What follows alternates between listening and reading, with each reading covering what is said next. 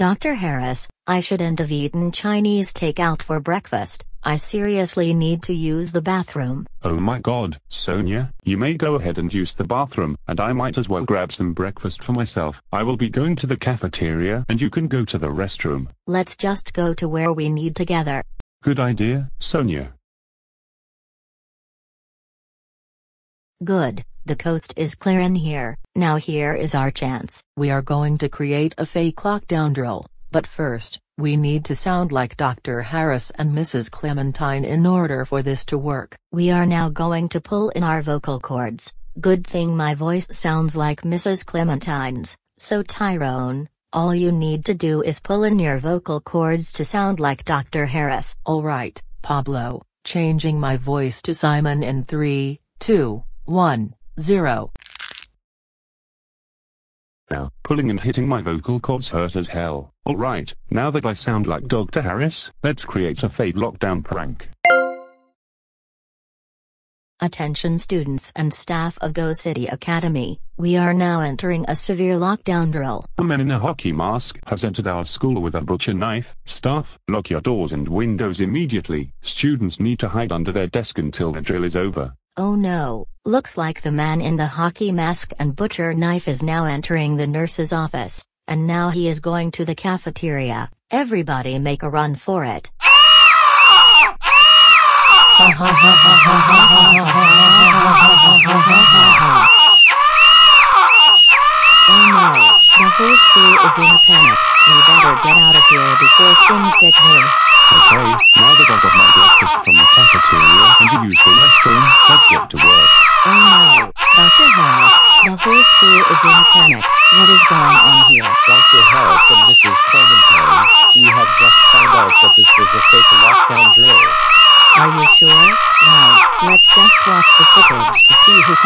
entire school in a severe panic attack. A man in a hockey mask has entered our school with a butcher knife. Staff, lock your doors and windows immediately. Students need to hide under their desks until the drill is over. Hey, isn't the Tyronia sounding just like me? Yes, and Pablo sounds just like me to begin with. Wait, could it be? Pablo and Tyrone caused the whole school in a panic attack thinking that there was a mass murderer on campus. If all of this is true, Pablo and Tyrone are going to be in big trouble. I will now report them to my office.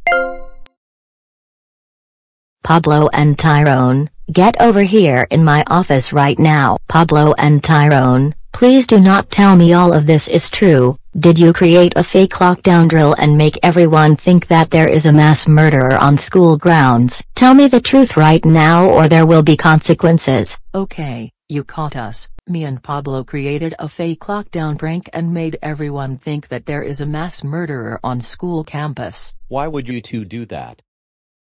Do you guys remember last week when Tyrone and I had a fear of lockdown drills? Well, our dads took us to therapy and our therapist made us feel less scared of lockdown drills. And ever since then, Pablo and I thought it would be funny if we created a fake lockdown drill since we are no longer afraid of lockdown drills. Funny, you call someone who creates a fake lockdown drill and makes every single person in this school think that there is a mass murderer on campus funny. That is absolutely not funny at all. Your behavior today was extremely scary, terroristic and despicable. We can't believe you terrorized the entire school and created this fiasco. That's it. Both of you boys are so suspended for three years. Go home right now. I am calling your dads about this situation. Hello, is this Victor and Dallas speaking? Great. This is Mrs. Clementine. You will never believe what the boys did this time. What did they do?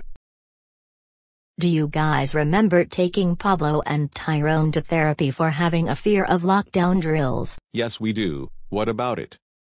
Well, ever since your boys went to therapy last week, they thought it would be a crazy idea to create a fake lockdown drill and terrorize the entire school. I have sent both of them home right now. They are both suspended for three years. Will you guys please ground them? Okay, thank you. Much appreciated. Goodbye. Oh my god, Pablo and Tyronia, we cannot believe you boys got suspended from school for creating a fake lockdown prank and terrorizing the whole school. You boys realized that somebody could got them killed or injured, but thank god that didn't happen. That's it. You boys are so grounded for six years. You boys are to go to school every single day even if you are sick. Now go to your rooms and stop crying like freaking babies. Thanks for telling us the truth, boys.